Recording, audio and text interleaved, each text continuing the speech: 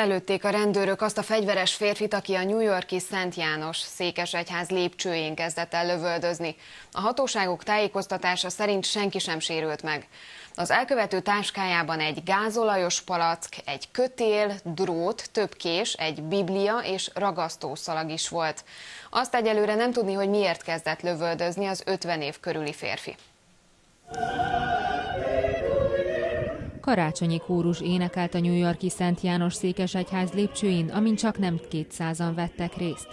Ezután nem sokkal egy fegyveres férfi kezdett lövöldözni a lépcsőkről, a környéken maradt pár tucatnyi emberre és a rendőrökre.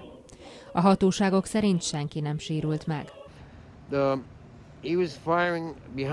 A márványoszlop mögül rövöldözött mindenkire, rendőrök is voltak a tömegben, és rájuk is lőtt. Felszólították, hogy tegye le a fegyverét, akkor ezt megtette, de aztán újra elkezdett lövöldözni. Mindenki elkezdett menekülni, és csak a lövéseket, a szirénázást és a sikoltozást lehetett hallani, mondta el ez a szemtanú. Az épületben már csak a kórustagok voltak. A hatóságok megerősítették, hogy az elkövető azt kiabálta a rendőröknek, hogy öljék meg. Többször felszólították, hogy dobja el a fegyverét, amit nem tett meg. A helyszínen levő három rendőr ezután nyitott tüzet. 15 lövést adtak le, az egyik a fején találta el. Válságos állapotban vitték kórházba, ahol belehalt a sérüléseibe. Két félautomata fegyvert találtunk a helyszínen.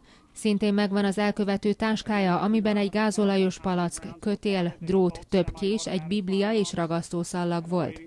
A táska tartalma alapján feltételezzük az előre kitervelt rossz szándékot, mondta a New Yorki rendőrparancsnok.